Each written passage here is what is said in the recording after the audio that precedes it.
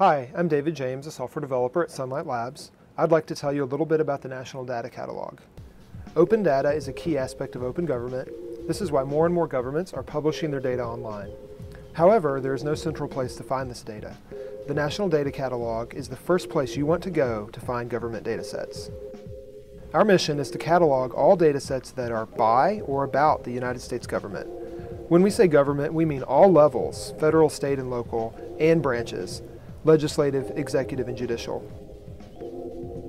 No single government entity will be able to build such a catalog, since the separation of powers between branches and among agencies would hamper such an effort. That's why we're doing it here at Sunlight. At the National Data Catalog, you can find all the government data sets you want in one place. So, this is the introductory screen. Once you log in, you'll be taken to your dashboard. Your dashboard shows you your favorite data sets, and I wanted to start us off with an example showing how you search for data sets. It's real easy. You just go up to the top right, and you type in the keyword you're looking for. In this case, we're going to search for crime. We can roll through the list and see uh, data sets that come from many jurisdictions. Let's look at this crime incidents data set from the District of Columbia. You can see that it's got um, a description. It also has some metadata that tells you the government agency that's responsible for the data. Um, and it also has downloads available so you can go actually look at the underlying data. So let's click at the map view.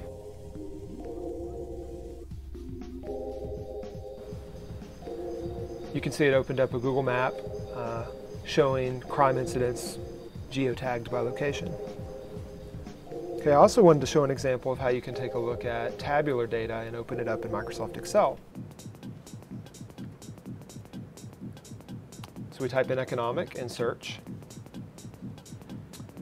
Let's take a look at state and county historical economic data um, from the state of Utah about residential building permits. Um, we can see here that we have an Excel file for download. We just click the link. Um, we're going to save the file onto our uh, computer. Now we're going to open up the file with Microsoft Excel.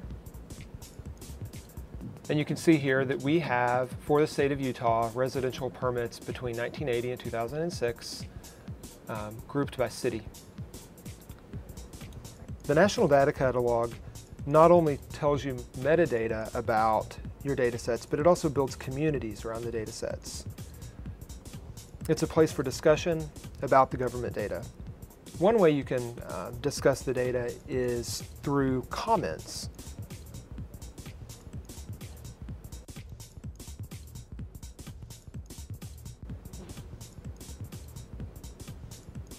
So here we're going to take a look at trends in international mathematics and science study.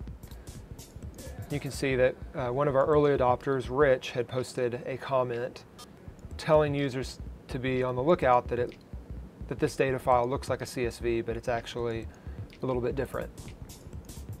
So this is a great way that he's given back to the community so that they can uh, be on the lookout for this problem. Another way that the community can get involved is through community documentation.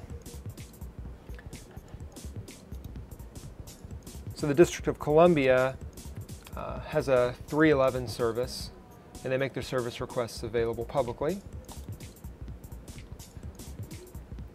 So in this case, if you click on the Community Documentation tab, you'll see that um, I've added some column information.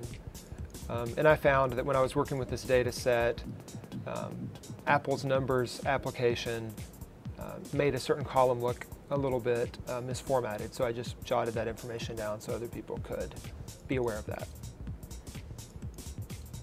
The last feature I'd like to show is how easy it is to suggest data to our curation team here at the National Data Catalog.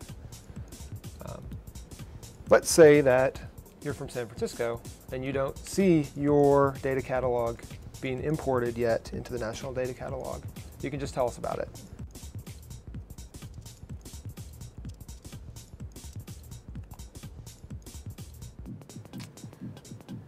We hope you enjoy the National Data Catalog. Please try out the site and let us know what you think.